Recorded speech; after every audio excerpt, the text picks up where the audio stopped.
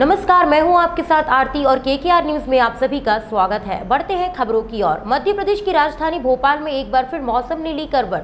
राजधानी भोपाल में बुधवार को सारे दिन तो धूप छाई रही, लेकिन शाम होते होते राजधानी भोपाल को बादलों ने घेर लिया।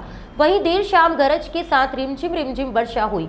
वहीं आज सुबह से ही आसमान में बादलों की चादर सी छाई हुई है, जिसके चलते हमारे संवाददाता आदिल खान ने जाना मौसम विशेषज्ञों से कि क्यों ये बदलाव राजधानी के मौसम में आ रहे हैं। देखते हैं इस विशेष खबर में। भोपाल से आदिल खान की रिपोर्ट। मैं जेपी विश्वकर्मा, मौसम ज्ञान विज्ञानी, मौसम केंद्र भोपाल।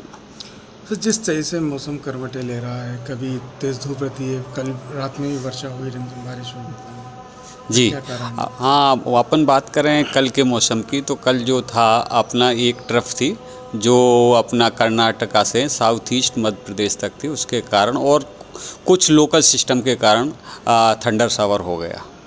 सर वहीं आज की बात करें तो आज भी क्लाउड बने हुए हैं। जी।